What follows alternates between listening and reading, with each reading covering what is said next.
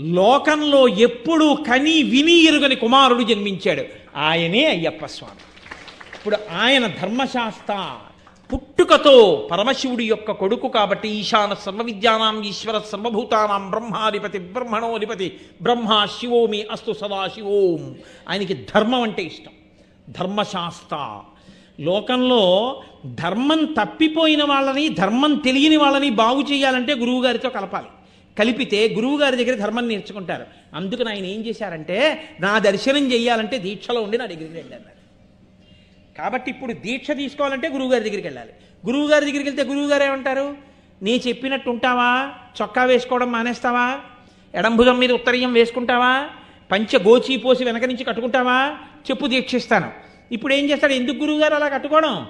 ఆయన ధర్మం అంతా చెప్తారు. ఇది నలభై రోజులుగా బతికున్నంతకాలమా బతికున్నంతకాలం ఒక్కసారి వెళ్ళొచ్చినా ఆయన అనుగ్రహం పడితే ఏమైంది? ఓ మెట్టు ఎక్కేసావు జీవితంలో. ఇది చిట్ట చివరికి ఏమవుతుంది? తత్వమసి.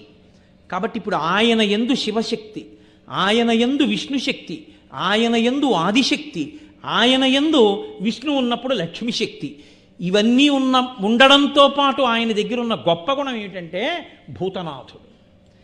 పరమశివుడు సమస్త భూతగణముల మీద అధికారం తన తర తను అయ్యప్ప. ఇద్దరికీ ఇచ్చాడు. అందుకే మీరు ఎప్పుడైనా స్కాంద